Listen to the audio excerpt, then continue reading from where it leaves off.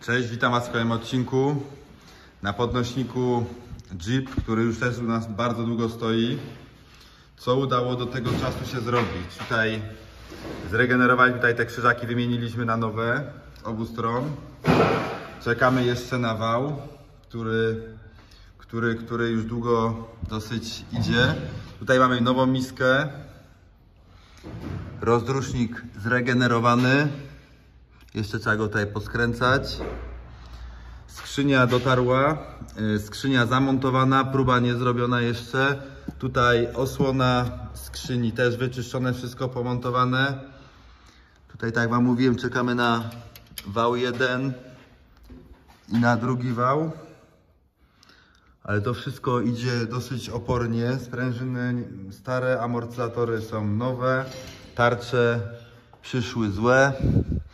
E, Z tyłu amortyzatory nowe, kawałki przewodów musieliśmy poderać, bo się nie chciało nic odkręcać.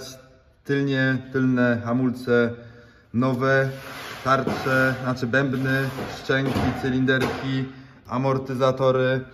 Mm, Także było co robić. Dosyć duże problemy z częściami, ale krok po kroku e, składamy to auto.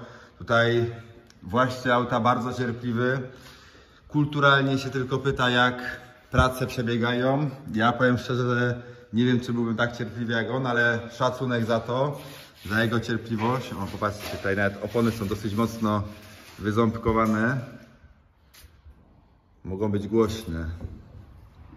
No, także tutaj poczekamy jeszcze na tarcze hamulcowe. Koła będzie można skręcić na wały i zrobić pierwszą próbę czy nigdzie, nic, ni- czy nigdzie nic nie cieknie, czy wszystko działa jak należy. Oczywiście sprzęgło też jest założone nowe. Na razie to jest tak wszystko pochwytane, tu jeszcze musimy podokręcać te elementy. Yy, No i próba. Będzie miejsce na kolejne projekty. Jak zjedziemy tym jeepem, to wjeżdżam Suprą. Także też zależy mi, żeby zjechał z podnośnika. W tym odcinku to już wszystko. Dzięki i pozdrawiamy.